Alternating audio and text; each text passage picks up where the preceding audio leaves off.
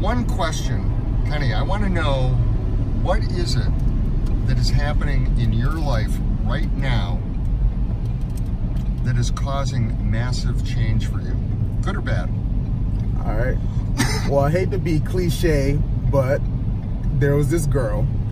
That's how the story starts. So, um, pretty much at first, I mean, I'm I was 28, and I met who is now my girlfriend. And before, I was living with my parents, um, heavy alcohol abuser, definitely alcoholic, drank every day, pounded it. Um, I know where that's at. yeah. so, I mean, now I've definitely changed a lot because with this girl, um, we were seeing each other for a while and I kind of got her pregnant. So with that, how do you kind of get her pregnant? okay, I very much so got her pregnant. very, she's she was very pregnant. She's not pregnant anymore. So really, uh, yeah, had my baby boy uh, six days ago.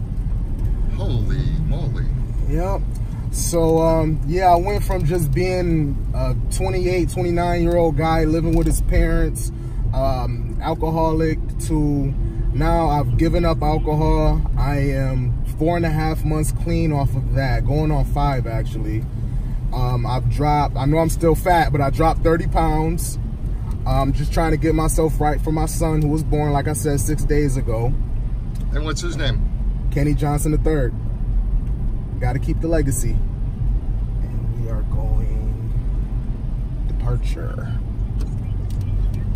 So yeah, pretty much I'm no longer alcoholic. I'm doing, making strives to uh, better my life so I can better my son's life and he can have the life that I actually grew up having, having, you know, both parents in my life. So I want to provide that with him.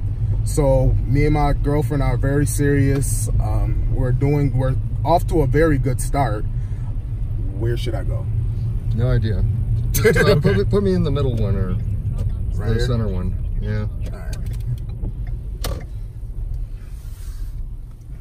So yeah, um, like I said, I'm just trying to better myself and just it's even making it more easier now the fact that my son is here and I can hold him and he's going to be the key to my success.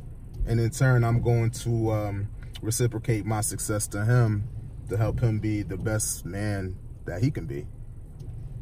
And yeah, that's my change. Like I went from never thinking I'd ever have a kid or a children at all and, you know, never giving up alcohol.